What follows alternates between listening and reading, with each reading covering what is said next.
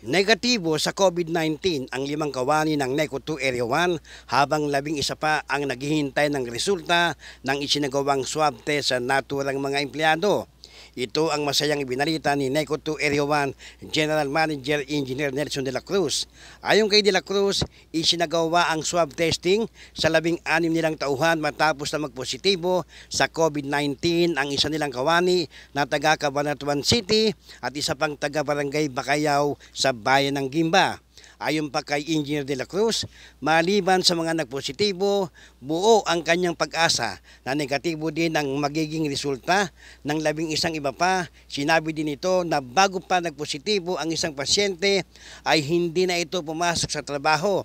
Alinsunod na rin sa kanyang mahigpit na tagubilin sa lahat nilang tauhan na sasandaling magkaroon ng masamang pakiramdam, sino man sa kanila ay huwag na munang pumasok upang kung sakaling sila ay COVID-19 infected ay hindi na makapanghawa pa.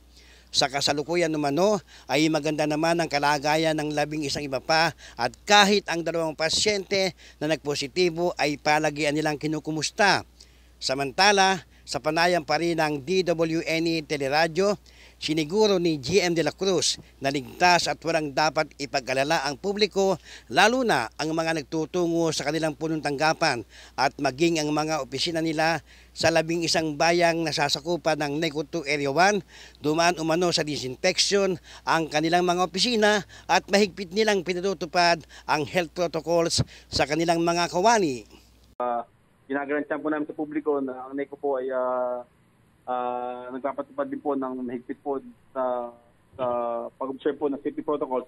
Kaya po ah, kaya po kami naganaos para po magarantiyan sa mga tao na ang ayon po mga opisina ay ah, ligtas po at ah, safe at ah, nagpapa-implement po kami ng mga protocol para po basta pangalagaan po ang ating mga kaempleaduhan at ang mga employees po natin na direkta po may uh, nagpupunta po sa NECO lalo na rin mga nagbabayad at yung may mga consent po sa ating opisina.